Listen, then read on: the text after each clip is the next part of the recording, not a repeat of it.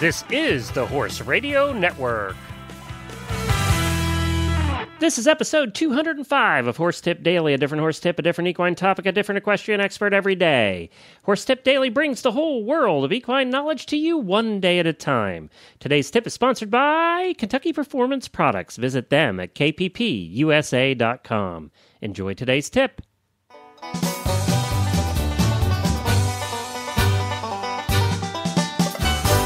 This is Glenn the Geek back with you from Lexington, Kentucky, and welcome back to Horse Tip Daily. I want to apologize. This show, the first show of the week, is getting usually comes out on Wednesday and runs through Sunday, is getting out a little bit late because uh, we had some technical difficulties yesterday with the website. Had to work on that and finally have that fixed. So this we're coming out a day late, but we're going to put two out uh, on tomorrow on Friday, so you'll have two tips tomorrow instead of one. And again, we apologize for that. Even geeks have technical difficulties sometimes. I sometimes have to go to bigger geeks, the really geeky geeks. I call myself a geek just because I like gadgets and like to play with toys. But, uh, the, you know, I'm not really a coder, so I do all the website work on the websites and all the social networking and things like that, uh, and and do a lot of the editing of the shows. Did the first 400 episodes edited myself, and now we have a little help. Thank you to Brian. But uh, some of the geeky stuff goes way above my head. Well, today we have back with us one of our favorite new guests is Dr. Jenny Johnson. She runs the Oak Hill Shockwave and Veterinary Chiropractic Clinic in Calabasas, California. And of course, you know that she eh, does these tips as part of the Jumping Radio Show.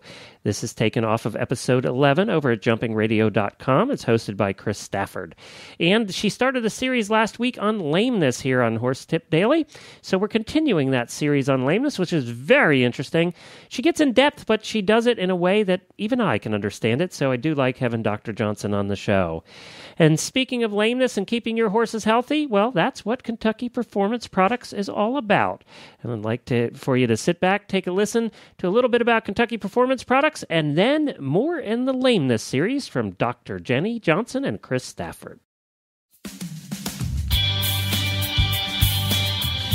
At Kentucky Performance Products, quality assurance is a key ingredient found in every product they sell. Each supplement is manufactured to exacting standards in certified facilities. Their ingredients are sourced from highly reputable suppliers, and their formulas are fixed to ensure consistency in each bucket. So, what does the promise of quality assurance mean to you and your horse? It means you can trust that when you purchase a supplement from Kentucky Performance Products, you will see the results that you expect and the quality that you can count on. They guarantee it. Kentucky Performance Products, helping you keep your horses healthy, sound, and competitive. Visit them at kppusa.com. That's kppusa.com.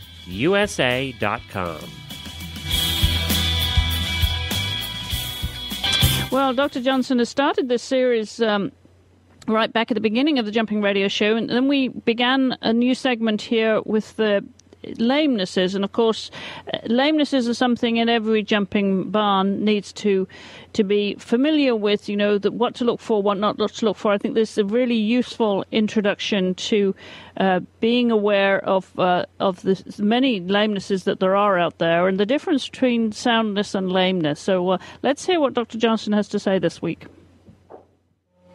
Hi, Jenny. Nice to have you back this week. And I know we, we started this great series on lameness, and it was fascinating last week, you know, with the introduction to identifying which limb. Um, now you've got the next step in that uh, in that process that you're going to talk about this week. Yes, today, Chris, I want to talk about conformation and how it relates to lameness.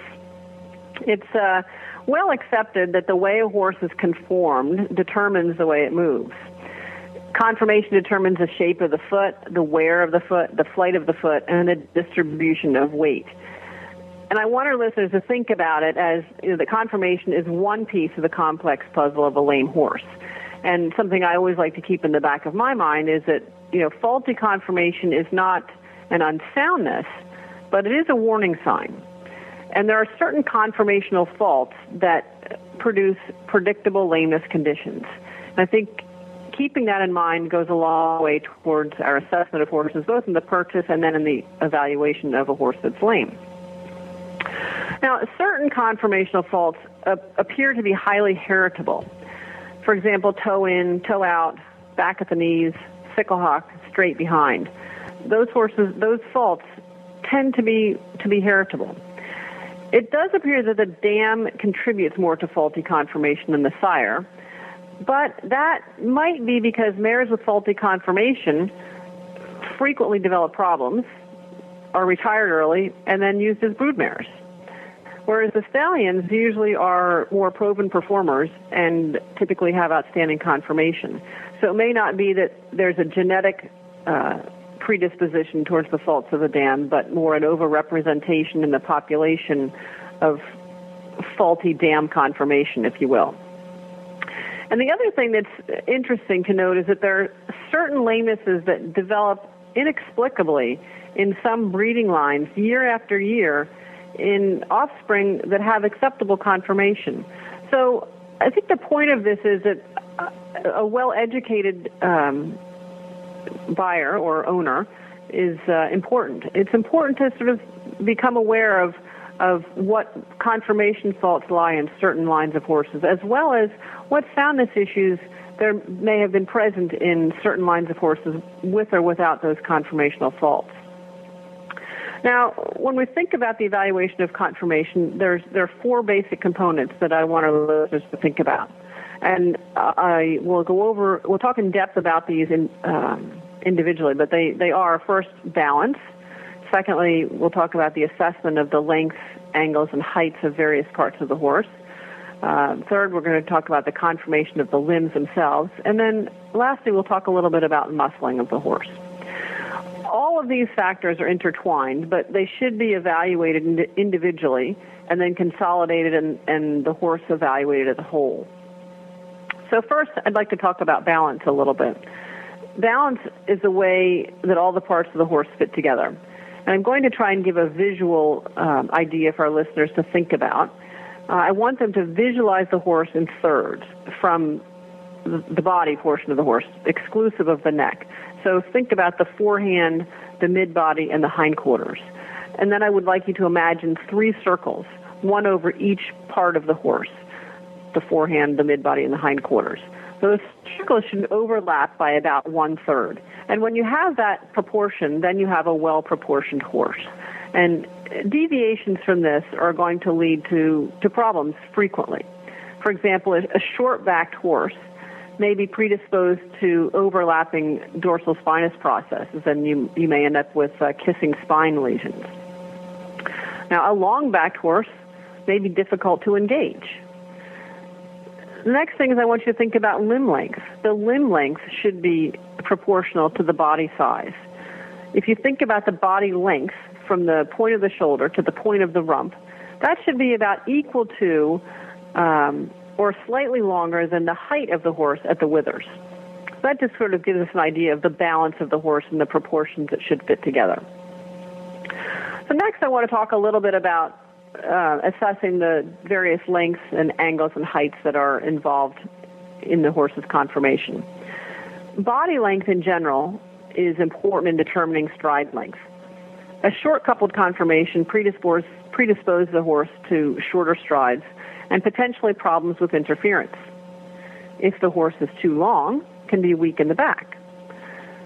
The length of the neck is important in assessing the overall balance, and it should be proportionate to the overall body length. So those those sorts of things all interact together. Now, shoulder length may be directly related to stride length.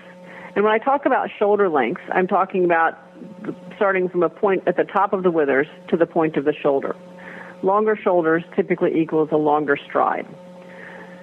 The shoulder length and the shoulder angle are often also related. Long shoulders, typically you'll have a more uh, sloping shoulder. Now, classically, the ideal shoulder angle, and we're talking about the angle basically of the scapula relative to the ground, classically that should be 45 degrees. And concomitantly, the forelimb pastern angle should be equal to the shoulder angle. Now, horses that have a steep shoulder angle, over 50 degrees, say in the 50 to 55 degrees, will usually have short shoulders. They'll usually have more short upright pasterns and that will uh, predispose them to lower limb lamenesses. Next, I want to talk about rump length. similar to shoulder length, rump length is also important in determining the stride length. A longer length of the rump is desirable, as is a long, flat croup. Many horses with the long rumps have longer rump angles or a flatter croup, and those with short rumps frequently have smaller rump angles or steeper croups. Uh, the steep rump angle shifts the center of gravity backwards and can predispose them to hind limb lameness. So those factors all play together in the biomechanics of the horse. Now, looking at the limbs, I want to point out that it's critical to evaluate the horse standing squarely on a firm, flat surface whenever you're looking at a horse for conformation. Now, some horses are, are fairly well schooled in how to stand up squarely, whereas others are a bit more difficult to get to stand up squarely. But uh, hopefully, with a skilled handler, you can accomplish a reasonably square stance. And it's also equally important to make sure that you're on a flat surface and uh, not on a surface that will have anything obscuring the lower limbs. For example, you can't evaluate a horse effectively uh, when they're standing in grass that's growing over their coronet bands. The other thing I want to introduce our listeners to is the idea of the plumb line. And what I mean by that is imagining a line dropped from specific points to the ground and using that to evaluate the correctness of a limb. And that will allow you to evaluate limbs from the front, from the side, and from behind. For example, if you drop a vertical line, if you're standing in front of the horse and you drop a vertical line from the point of the shoulder to the ground, that line should exactly bisect the limb, cut it in half. Deviations from this are going to lead to alterations in the stress on that limb, and with that, uh, specific um, strains that will cause specific injuries or potentially cause specific injuries because of that abnormal conformation. The other thing that's very important is to evaluate the horse while he's walking. Some defects are only apparent in the dynamic situation. Trimming and corrective shoeing can enable a horse to stand fairly correctly. And when you look at him, the horse looks fairly correct standing. But when you watch the horse move, that may uh, illuminate some underlying faults that, that you couldn't otherwise see when the horse was standing still. So always important to watch a horse move. Lastly, I want to talk a little bit about muscling. Muscling, um, the muscling of the horse should be even and symmetrical, should be smooth. You should be, again, symmetrical when you look from side to side and consistent throughout the body, if you will. Alterations from this can give you a tip off to either um, an abnormality of gait, a weakness somewhere, or an alteration in the horse's balance. So these may be subtle findings, but can really uh, be very important when you pick up on them, may lead you to uh, an evaluation of other areas that you might not have seen otherwise that, that could be uh, a problem for the horse. So those are sort of the basic components of conformation. And I want to leave it at that for this week. And then next week, we'll start to talk about more specific conformational defects in the forelimb and how they relate to specific lamenesses or how they alter the wear and strain forces on the horse and how they can lead to specific types of injuries and specific pathologies that the horses may develop. Wonderful, very instructive as ever, Jenny. Thank you so much. I look forward to uh, the next episode um, and drilling, getting sort of digging deeper into the lameness issues because there there are so many, aren't there? This, it's so complex and uh, and very so varied in in all the all the ways that a horse can go lame on you. It is, and I think it's important for our listeners to, to really gain an appreciation for the complexity of lameness and and to understand how many different factors that there are that go into a horse going from from sound to lame, and uh, hopefully that will enable them to have uh, better observational skills with their horses and, and have a better understanding and sense of where their horses um, fit in that continuum from soundness to lameness. Thank you to Chris and to Dr. Johnson for being here once again on Horse Tip Daily and for doing what they do over at the Jumping Radio Show. You can find that at jumpingradio.com. And I know Chris is switching things up a little bit over there at the Jumping Radio Show. They're going to get into more practical things like training and jumping, and they're going to try and really take that jumping and cross it across all the disciplines that do jumping, eventing and fox hunting and pretty much hunter, jumper, anything that jumps. So they're going to try and do more on training and more of the practical stuff over there on that show. So she's switching it up a little bit now, and we're excited to hear what, what she's doing over there at jumpingradio.com.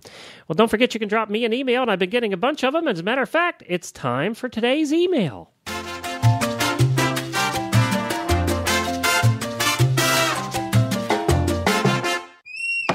I love doing the emails just because I love that jingle so much. Well, today's email comes from Victoria, and she says, I just want to say that I really enjoy your shows, especially the Horse Tip Daily Show. I listen as often as I can, all the way from central London, to pick up tips for me and my horse, Amadeo. Great name, by the way, Victoria. Amadeo. Keep up the good work. Victoria in London. Well, thank you, Victoria, for listening all the way over there in England. This little show right now has over 6,000 daily listeners in 30 countries. So we appreciate everybody who listens. I have a couple more emails to share with you this week from around the world. So we'll just do we'll do the worldwide emails this week and we'll have one for you every day. So stay tuned and thanks Victoria from London. Well, don't forget, Helene and I have another great episode of Tack and Habit for you, the second episode of the Tack and Habit radio show, where we, we talk about new products every week. That's stuff, uh, you know, horse stuff. Stuff for your horse, stuff for you, stuff for the barn. We just re- we just reviewed two new things every week, and you can uh, take a listen. We have a lot of fun with it. It's just an entertaining show. So stop on over to tackandhabit.com, or you can find all the shows at horseradionetwork.com. And that's about it for me today, everybody. We'll see you again tomorrow. And as I said, tomorrow we'll have two episodes to make up for missing yesterday because of our little technical difficulty with the website, which really was a pain in the neck and did fight me for quite a while on that, but got some professional help in and we were able to get it fixed. So I'll be back again tomorrow with two new experts and two horse tips. Until then, stay safe, everyone.